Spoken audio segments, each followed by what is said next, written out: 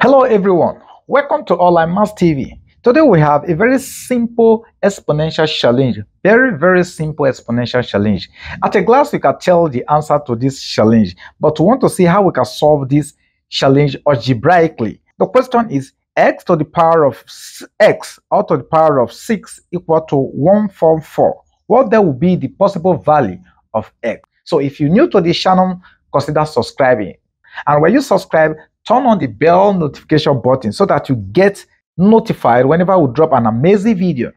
On Sunday early morning, I'm going to drop a very powerful exponential challenge, a very wonderful, a very nice exponential challenge. So to be among the first person to get the hint to how to solve tough and rhetorical exponential challenge of such, then turn off the bell notification button.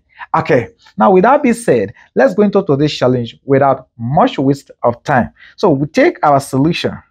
Solution. All right, so we put down our question, which is our x to the power of x or to the power of 6. This is equal to 1, 4, 4. Simple. Then we can rewrite the right-hand side because 144 is a perfect square. So rewriting it, this will give us x or to the power of x or to the power of 6. This is equal to 12 to the power of 2. Good. So what we do here is easy. Let's raise the left-hand side and the right-hand side to the power of 6. Okay? Multiplying the exponent by the power of 6, this will now give us your x or to the power of your x or to the power of 6 in bracket or raised to 6 this is equal to your 12 to the power of 2 or raised to power 6.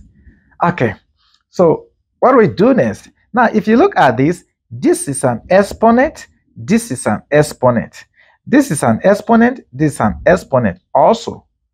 If you remember the law or you recall the law of indices which says that if you have your a to the power of mn, this is same thing as your a to the power of your m or in bracket into n, which is same thing as your a to the power of n or in bracket into m, which is also a to the power of your n m.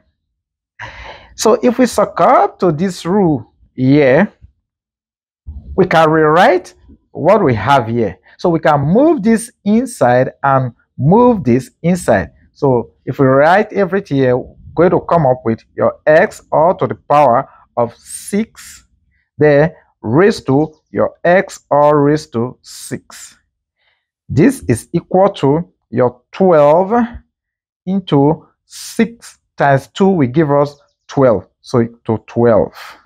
We will now discover that the base here, everything here is the base, is equal to what we have this. So we can equally equate this to the y because this entity is raised to itself and this entity is raised to itself too. So it does means okay so this now implies that your x to the power of 6 equal to your 12 so at this point what we do? We take the sixth root of both sides. So taking the sixth root of both sides we're going to have here the sixth root sixth root of your x to the power of 6 equal to the sixth root of your 12. God, whatever we do to the left hand side, we must do to the right hand side also. And so this, this will leave. So we now have our x is equal to your 12 to the power of 1 all over 6. All right.